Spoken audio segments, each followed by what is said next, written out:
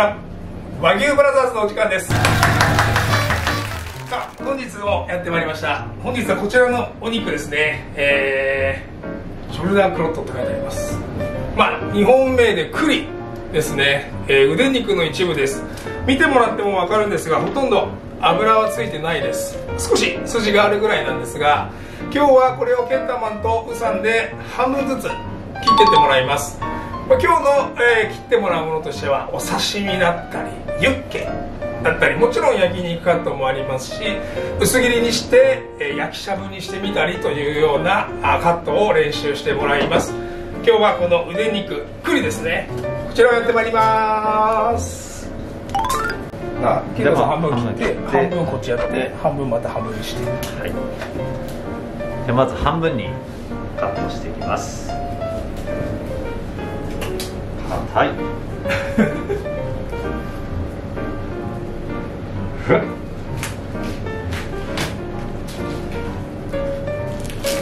ああ素敵だ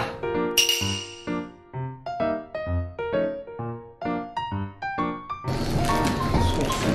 結構でかいな。で4等分。12の3等分しましょう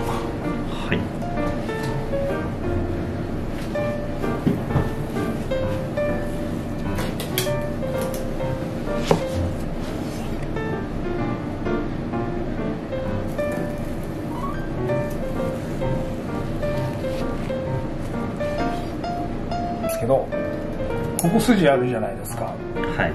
ここをこのこの筋をこっち側から、まあ、絵的に言うとここからこっち側からスコンと落としてほしいんですよ。でこっちも一緒ですね。スコンと落としてもらって。こういうことですか？そうですね。ここからここからこのここに沿って。難しいこと言いますね。大丈夫です。そのまま思いっきりって言っちゃってください。グワッと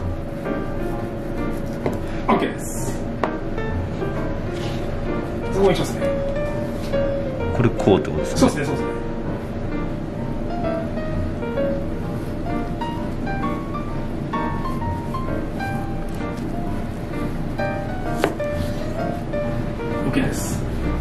でこっちとこっちは後でこの筋を取ってこれユッケにしちゃいます、でこちらはこの皮のとこ取ってもらってあとこのちょっと筋残ってるんで取ってもらって、はい、その後は焼肉買っていきましょう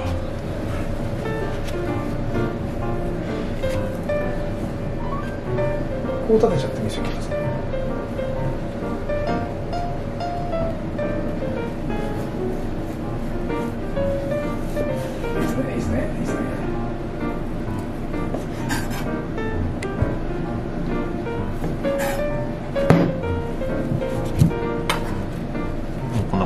そうですね。大丈夫です。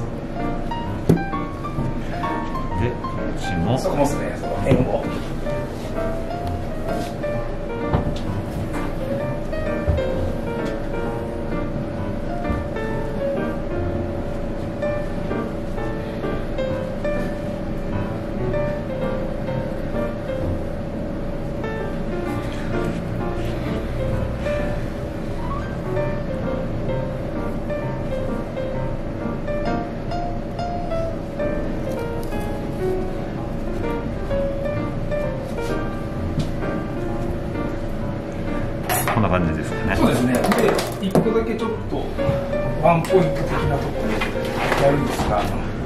今こう筋を取ってこれだったら普通に切ったら焼肉のサイズじゃないですか、はい、でこっちちょっとやいやいなんですよね、はい、やいやいなんで。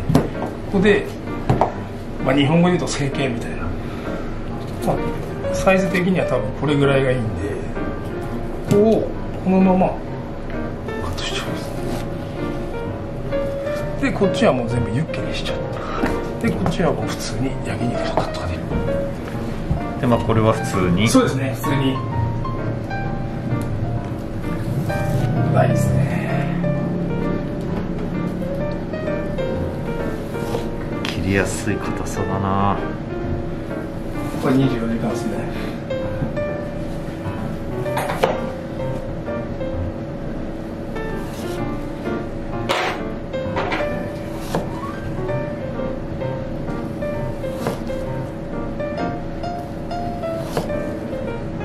ゃいいですね。褒められてちょっと分厚くなっちゃった。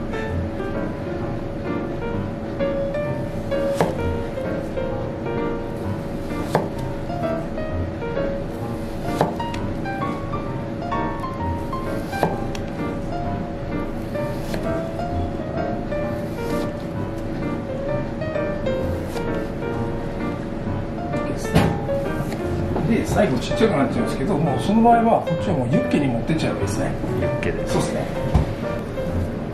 あれみたいですね。当たりっすね。当たりですね。で次なんですけど刺身を取るとしてこれすごく真ん中で柔らかいんでで、まあ、刺身だともう本当にスティップグラムくらいなんで本当にこのまま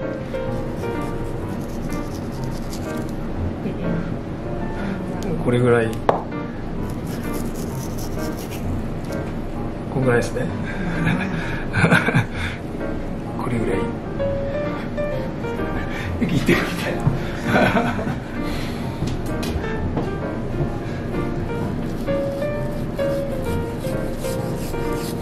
いった。すはい太い OK ですか？大丈夫です。でこの時なんですけどもしもしちょっと太くなっちゃったらその場合は隠し包丁入れちゃえばいいです。はこの厚さだったら全然食べれるのでそうですねそうですね。い刺身にも。いけますいけますいけます。うわ。いいです失敗したら一気に持っていいです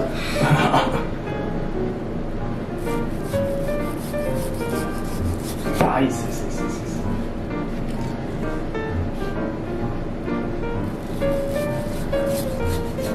あいいですねこれの硬さいいですね切りやすいですね切りやすいですねですね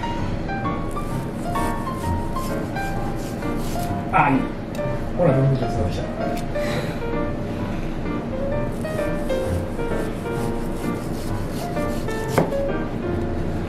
はいちょっと分厚め。そうですね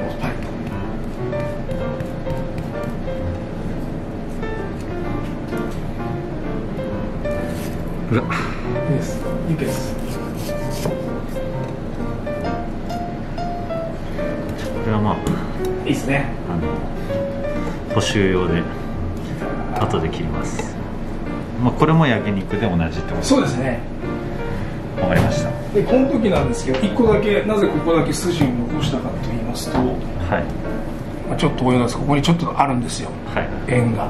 で例えばこれをちょっと日本語だけなんですけどこれ切っちゃうとなんかもったいないっていう人も多分いると思うんですよね、であれば例えばこのまま焼肉のカットしてでこの、まあ、ちょっと筋っぽいところを隠し包丁入れちゃうのも手なんですよね。っていうやり方もあるんですよ。こっちの屋根もそうなんですけど。あとはもうこのままバーッと普通に切って。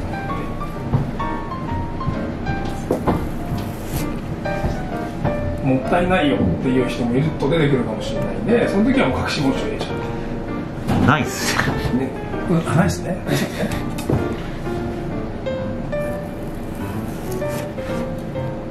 なしじゃあ大丈夫。最初だけですね。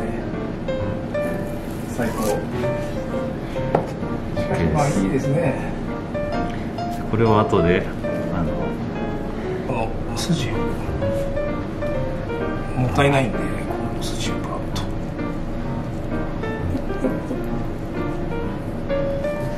ブロブロブロブロっと取っちゃって。で、あとはこのままですね。はい。こんぐらいのサイズで。パコって切っちゃうんですね。で、まあ、これもこっちも一緒なんですけどこれぐらいのサイズでパッとわーっと切その後これでこのままそうですね。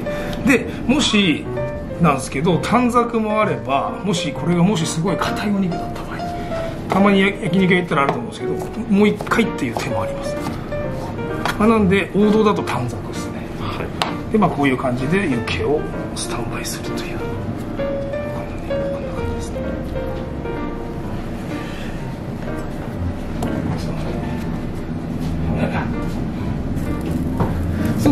もうそこはどちらかっていうともうパンパンパンパン、はい。適当でもいいです。適適当に当たり前みたいなはい。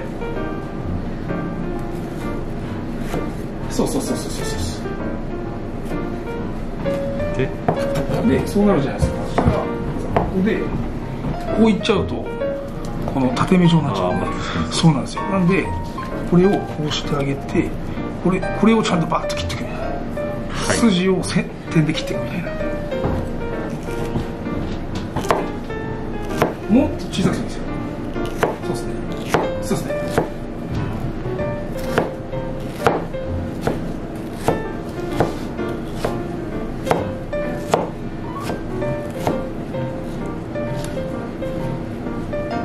もう本当そんなんです。でまとめて。また。そうですね。もう一発。サイコロ状にするとより食べやすくはなります。でこれってあれなんですよ。お肉によって違う。柔らかいお肉だったら短冊でもいいですけど。そうですね。来たね。かしこまりました。はい。もうこれで今もう3品できた。と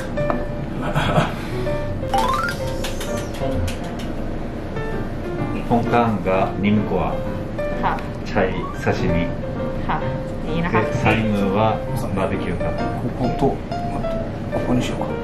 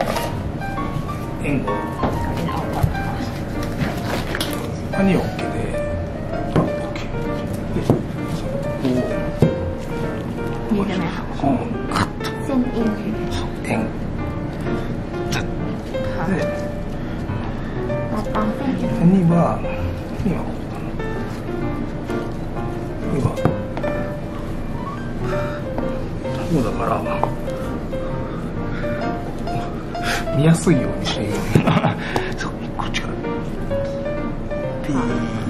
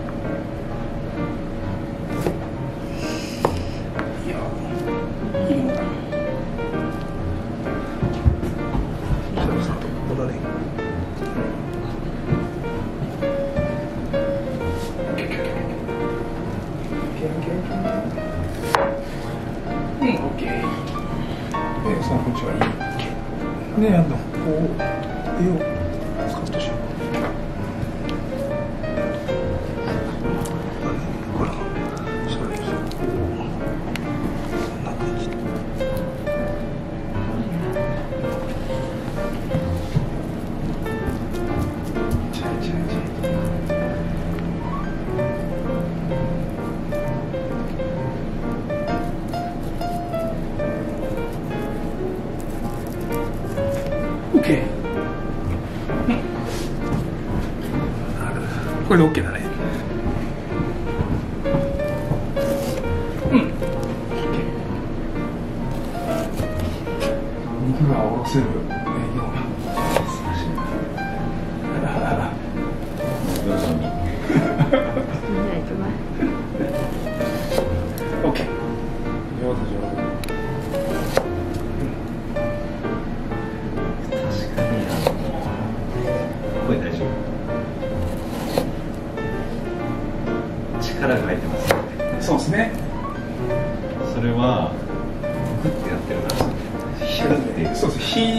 押してるんでそれをまあ確実にはこう、まあ、引くですね。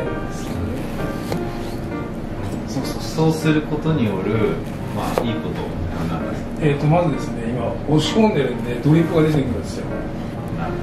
でもう一個があのに断面を押しつぶしてるところギューッとなってるんで焼いた時にも、まあ、硬くはならないですけどなんか僕はそんなイメージがあって刺身と一緒ですまっすぐに切ってるんですけど伸ばした時にはちょっとこうギュッてなってるみたいな。ほどはい。それちょっとなってこい。でえい。しかしこの僕いいな。まあなんかちょっと例えて言うならネギとかを切った時にまな板が緑の人と何もない人いるじゃないですか。はい。それっすね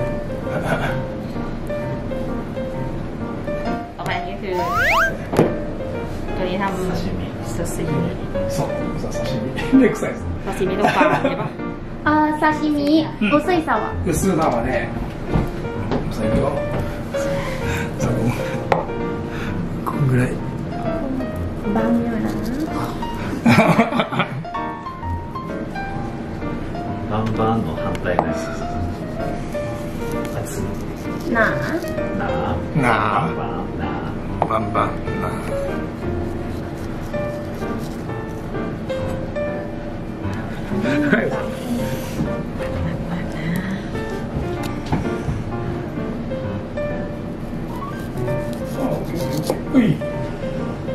上手まあ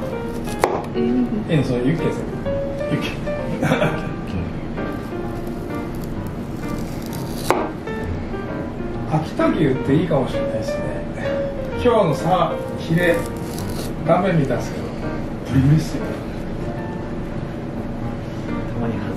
あるっすねああ今の今の。ああオッケーこんなもんでいいんじゃないかな。あでも。OK とニやクロンドゥアニバーベキューカットはいい。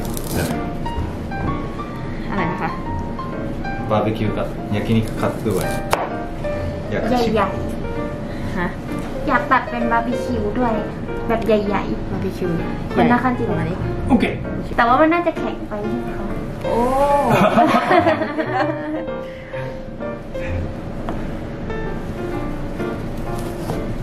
あ今みたいなそうそうそうそう ทำเหมือนตอนที่พี่อูทำตอนนี้เลยค่ะ ถูกแล้ว เฮ้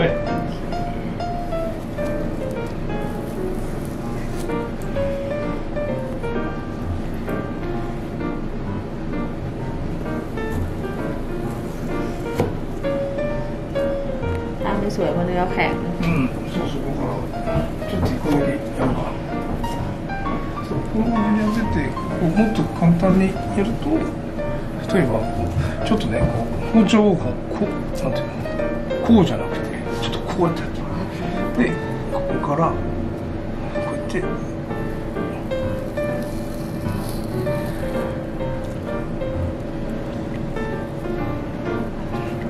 あもう一度いくよなんか 横。こうしうか。こうね。こうして。ここからすっす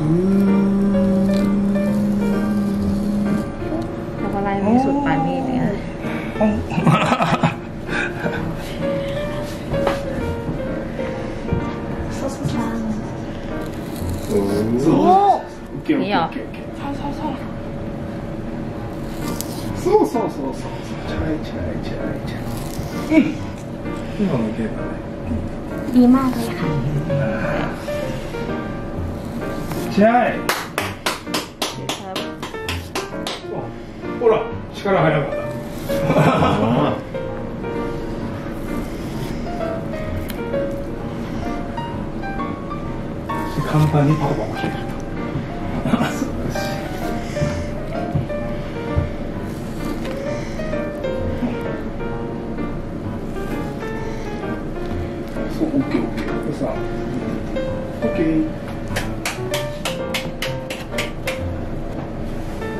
これ真ん中で、これ端で。でさ、寿司は、刺身は、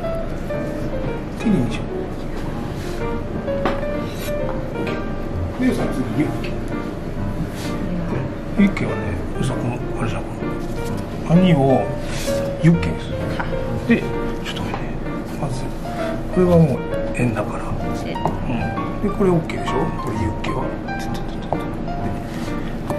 今ここ円があるから。円をカット。こっちはあに油。まんまんまん。まんをカットして。ユッケ円カットして。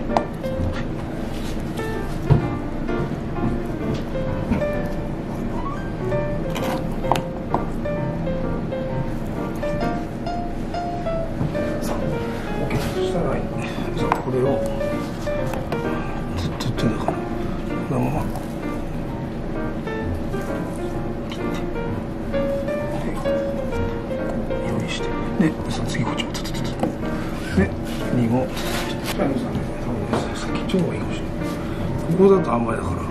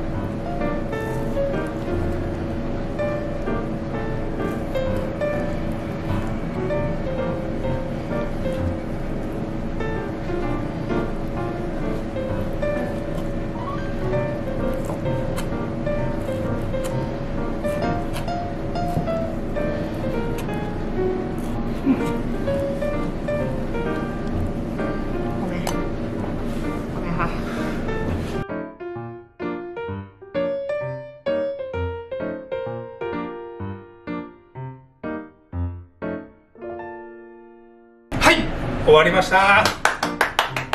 さあ今日もマイケルブラザーズケンタマンとウさんに切ってもらった栗ですね。これ塊の真ん中なんですね。真ん中の霜とこの端っこ。まあ端っこっていう表現も変なんですけどちょっと霜の付き方が違います。で、まあ、これちょっと僕の皆さんにワンポイントなんですけどこっちの肉のこの霜降りの仕方どちらかっていうと硬いんです。はい、なんでかというとこう線が伸びてるんですね。線が伸びてるところって実は繊維が結構詰まってるって僕はイメージがあって、まあ、こっちの端っこっていうのは結構こういう感じは硬いかなっていうのがあります。でこっちのお肉見てもらうと点々点が多いですね。点々点々点が。この点々点ってなってるところ多いんで。ここは歯が入りやすいんで柔らかいっていうイメージがあるのでそういうのも見ながら焼肉屋さんに行くと楽しくなっていきますというまずポイントです。はいで今日も切ってもらったんですけど、えーほとんど、えーミスをすることもなくそして筋も分かり油もちゃんと取ってこのようにお肉がいっぱいになって綺麗になってます、まあ、今日もですね、えー点数をつけるのあればなんと90点。90点でございます。でいつも言ってるんですけど1個だけあとは包丁慣れてきたんで力を抜くと。これができればさらにお肉がもっと綺麗になるのともっと保存するのが長くなるのでそういったところを気にしてもらうといいと思います、えー、ケンタマンが切ったユッケ。リュウさんが切ったユッケ刺身全部あります。見てください。すごい変なこと言います。素人さんが切ったお肉がこんなに綺麗なんです。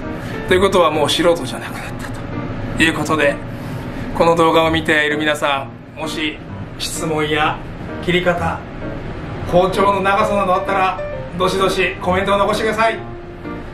今日もありがとうございました。和牛ブラザーズです。